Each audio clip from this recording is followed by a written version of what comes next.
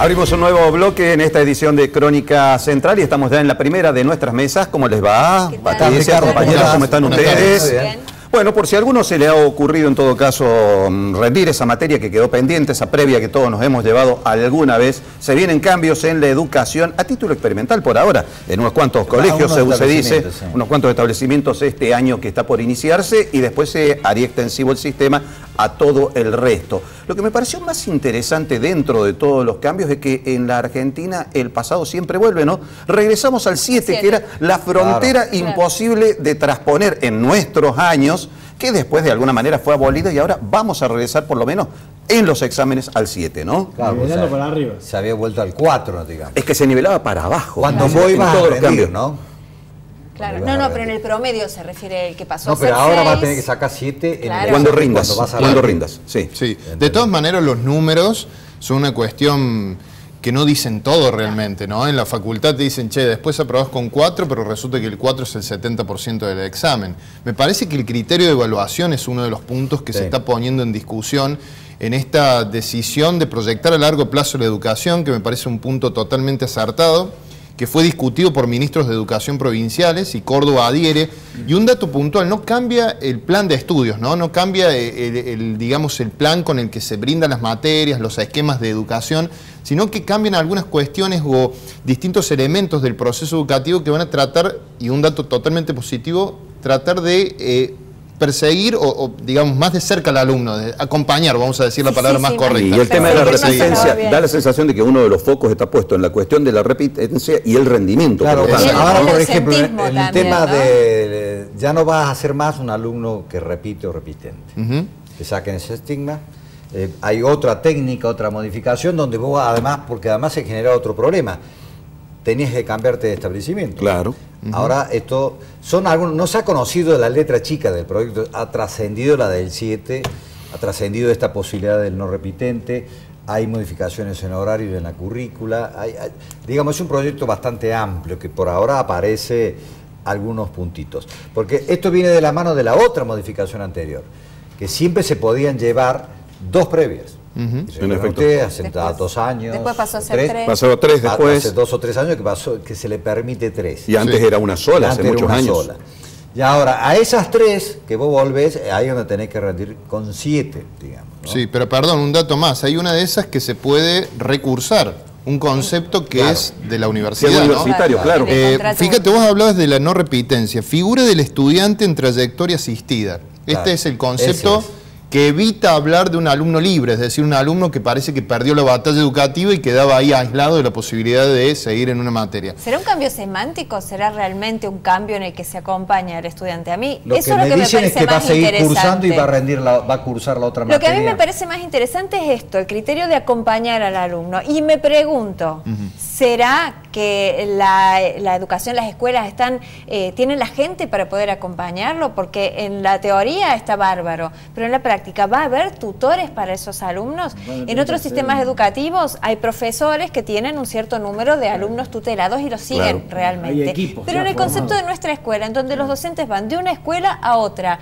eh, en, distintos horarios, y ¿van a tener el tiempo realmente de ser tutores de un alumno? Bueno. la sensación de que lo, importante, lo básico de esto es empezar por la capacitación de esos docentes y esos profesionales que para que trabajen uno de los ejes. ¿no? Y, modernizados con la tecnología, modernizados con, con los puntos de vista que tienen los chicos y las familias, eh, que para que puedan engranar, porque si no empieza a resbalar, el sistema resbala, resbala y el chico ingresa de una forma y sale con algún conocimiento, pero no le pueden cambiar el, modo de razonar, el modo de investigar el mundo, el modo de relacionarse. es muy difícil para los docentes. Yo, yo, lo que vos decías recién, que mm, es muy interesante, no sé si ustedes lo ven de la misma manera, pero hasta hoy cada vez que se modificó, desde el 83 hasta acá, que eh, hemos padecido no sé cuántas modificaciones en, todo, en toda la cuestión eh, educativa, y en general siempre se tendió a nivelar para abajo para mejorar las estadísticas del rendimiento escolar. Me parece que acá hay como un, tácito reconocimiento de que esto no ha funcionado. ¿no? las últimas pruebas PISA y los resultados eran no, Perdón, hay, hay datos. Prueba Aprender 2016 dio datos estadísticos alarmantes. El 70% de los estudiantes de quinto y sexto año, los dos últimos años de secundario, no resuelve ejercicios matemáticos básicos, es decir, terminando el secundario, el 50%, casi el 50% no comprende textos, el problema esencial que nos señalan a todos los estudiantes cuando iniciamos la educación superior. No hay comprensión de texto, no hay comprensión la palabra consigna no me gusta, pero de, de, preguntas de examen, ¿no? No se interpreta lo que se está preguntando y es un daño grave en el sistema educativo. Otro dato fundamental, menos del 50% de los que empiezan en secundario lo terminan.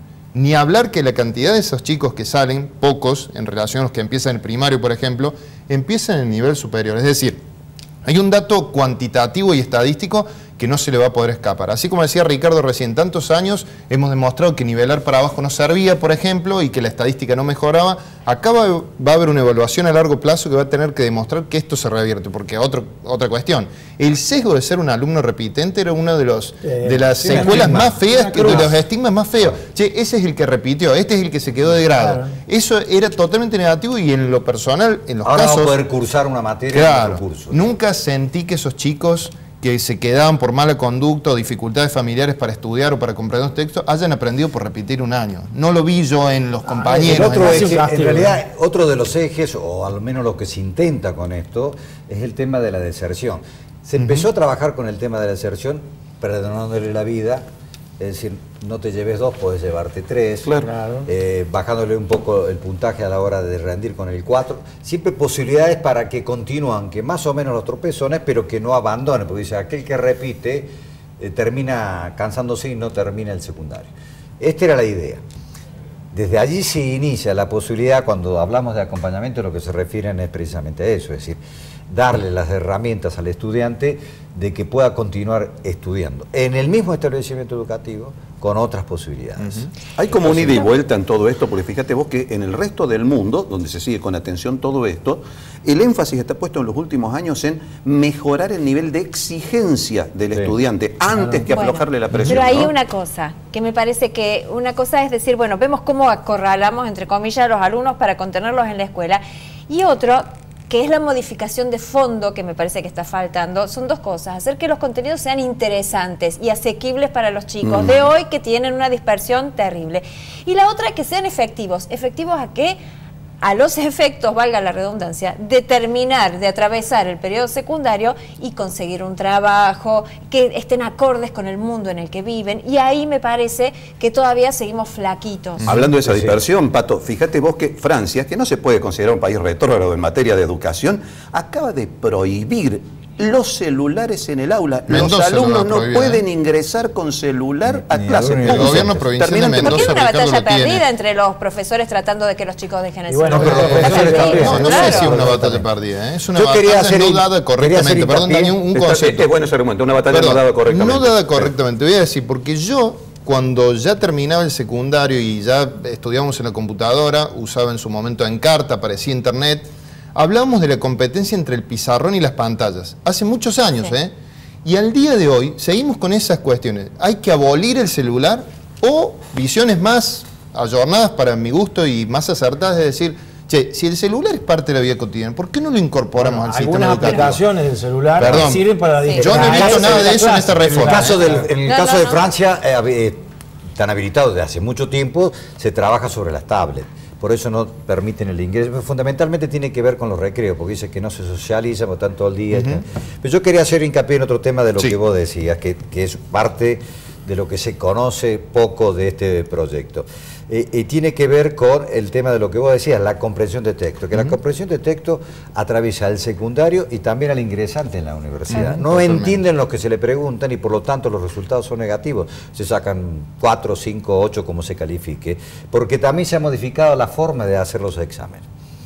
Entonces ahora son múltiples shows. Entonces no entienden y contestan mal. ¿Por qué no, entienden la comprensión de texto? Porque no leen. La base de la comprensión de texto es precisamente esa. La lectura o la escritura que vos después comprendes lo que quiso decir. Te preguntan, lee este párrafo y escribí qué entendiste de ese párrafo. Pero me, preguntaría, ahora. me preguntaría sobre eso si, muy si, el múltiple choice es la respuesta necesaria, ¿no? Claro. Es más rápido, pero no sé si es lo más correcto. bueno, hay algunos tema. que si no leíste un libro no lo podés responder. Y tienen trampas, además. Tienen trampas. Tenés que saber perfectamente, perfectamente un texto para poder responder, porque si no, pifiaste, en la primera que tropezaste, pifiaste. Depende de cómo está hecha la prueba. Por eso los docentes tienen que estar bien capacitados, tienen que conformar equipos interdisciplinarios, la escuela tiene que estar preparada. El Estado está preparado para un nuevo sistema de educación, y modernizado. ¿Este monstruo podrá dar otro pasito más? Algo que, continúe, persiste en, ese, este, en este sistema es la tremenda cantidad de materias y la dispersión que hay entre los contenidos, muchísimas materias, ya creo que ya no es necesario y eso no cambia, ¿eh? no, cambia. una educación tan enciclopédica, que no estoy en contra del enciclopedismo, pero digo que tenga algunas materias obligatorias y otras que los chicos puedan optar de acuerdo a su vocación, a su facilidad, a su interés. Eso sería para ¿cuántas materias promedio se llevan hoy? Porque fíjate vos que nosotros teníamos 12, 13, 14 materias. las aumentaron a 19, ahora bajaron de nuevo un poco, pero igualmente siguen siendo muchísimas las materias. No hay forma que los chicos puedan, eh, digo, saber un poquito de cada cosa. Nos pasó a nosotros. Pero también la hacen en cuatrimestral. Nosotros por ahí era, era todo el año. Eran anuales, eran anuales. nosotros algunos ven dos o tres o cuatro o cinco en el primer semestre y otras en el segundo semestre y algunas son todo el año. ¿no? Claro. Se supone que según las capacidades, según el año también. Que las capacidades de, la humanidad para, no digo absorber, para interpretar conocimientos y contenidos van aumentando con el tiempo. Ah, vos partís de la presunción de que somos mejores. Deberíamos. ellos digo, no nosotros. Deberíamos, si no volveríamos a la escuela del siglo XIX. Yo, creo que como de, de lo que se ha leído hasta aquí, creo, porque recordemos que esto se va a implementar de manera práctica en 60 establecimientos establecimientos educativos públicos, dijo hoy el ministro de Educación de la provincia que va a ir a los privados también en 2019 en todas las escuelas. Pero un dato puntual como puntapié de partida me parece la contención del alumno en esa dispersión que planteas, Pato. Me parece que contenerlo al alumno es fundamental, pero acá hay que abrir el juego a gente muy joven y si hace falta millennials y si hace falta nativos digitales que participen de los equipos de toma de decisión, algo que todas las empresas todas las empresas deben aceptar de que las decisiones hay que tomarlas con la gente que hoy implementa el uso de la tecnología, no con lo que suponemos los de mediana o alta edad, que es el uso de la tecnología, porque es ahí donde se da mal la batalla de la competencia entre el pizarrón, se sigue usando la tiza y está perfecto que se siga usando la tiza, pero es donde pierde la batalla el pizarrón contra las pantallas. Ahí las escuelas técnicas tienen una ventajita, ¿eh? porque están más en contacto con el mercado laboral. Es más concreto, es, mucho más concreto. Bueno, eso se toma como caso. ¿eh? Claro, ahí va a haber horas para que los chicos tengan su experiencia, ya sea laboral, ya sea en ONGs, 60 horas, claro, 60 horas cátedra o 40 horas eh, reales, digamos, para que puedan tener esa experiencia antes de terminar el secundario. Eso está, está piola, que puedan además... que fue muy rechazado en Buenos Aires con toma de establecimiento. Cierto. Pero vos fíjate,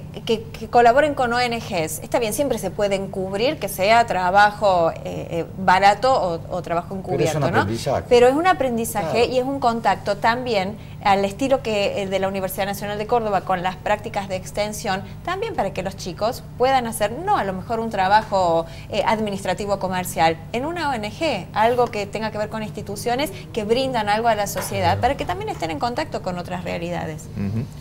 Bueno, eh, cerrando por el momento la cuestión, habrá que ver a la criatura andando, por supuesto, y ver cómo le va, ¿no? Pero la recomendación de siempre, eh, agarren los libros que no muerden. Ya volvemos.